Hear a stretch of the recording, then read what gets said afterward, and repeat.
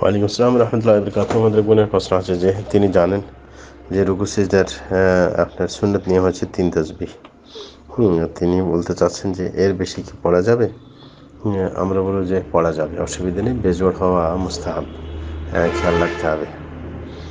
কারণ হচ্ছে, বোখারি, মুসলিম হাদিসের মধ্যে রসুল আকরম ইসলাম বলেন যে, না হজরত বারার দিয়ে বর্ণিত। তিনি বলেন কদরামকতু মোহাম্মদ সাল্লাহ আলী ইসলাম ইসল্লি فوجدت قيامه فركعته فاعتداله بعد ركوعه فسجدته فجلسته ما بين السجدتين فسجدته فجلسته ما بين التسليم والانصراف قريبا من السواء হ্যাঁ যে তিনি বলতেছেন আমি রসুল আকরম সাল্লামকে সালাতরত অবস্থায় হ্যাঁ পর্যবেক্ষণ করছিলাম আমি দেখছিলাম যে তার দাঁড়ানো তার রুকু দেওয়া রুকু থেকে উঠা সেজদা দেওয়া সে দুই সেজদের মাঝখানে বসা আর দ্বিতীয় সেজদা এরকম আপনার সালাম থেকে আপনার ইয়ে পর্যন্ত ফিরে যাওয়া পর্যন্ত এই সবগুলো কিন্তু কাছাকাছি ছিল যে প্রত্যেকটা। ইমাম বুখারি কিন্তু একটা কথা বলছে যে, মা খালাল কিয়াম উদ করিব সেবা যে বসা আর দাঁড়ানো, এটা ছাড়া বাকি সবগুলো সমান্তরাল ছিল।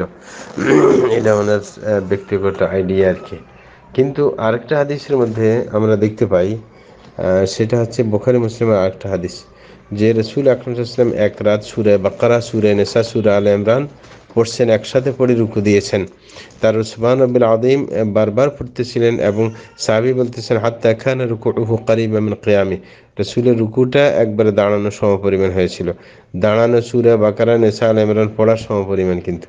উনি বলছেন যে রুকুটা দাঁড়ানো সমপরিমাণ ছিল, তাইলে কত বেশি ছিল? এরকম সুবানবীর আলাপ পড়তেছিলেন এবং বলছেন কাহানা সুজুদ ও কারিব আমি কেয়ামে সেজদাটাও দাঁড়ানো সমপরিমাণ ছিল। তাইলে বুঝে গেছে অনেক, কত শতবার পড়ছেন সেটা আল্লাহ ভালো জানেন।